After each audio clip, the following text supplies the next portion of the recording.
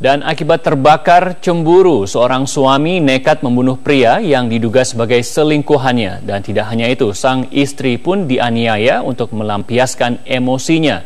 Usai melakukan aksinya, pelaku mencoba bunuh diri. Pelaku berinisial HT, warga Potong Lembu, kota Tanjung Pinang, dengan sadis menghabisi nyawa pria yang diduga sebagai selingkuhan istrinya.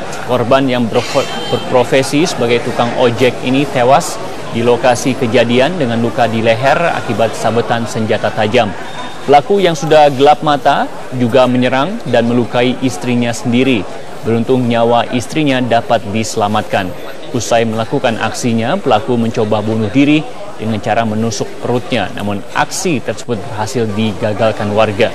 Tugas polisi yang datang ke lokasi langsung membawa jasad korban dan sang istri maupun pelaku ke Rumah Sakit Umum Kota Tanjung Pinang, Riau.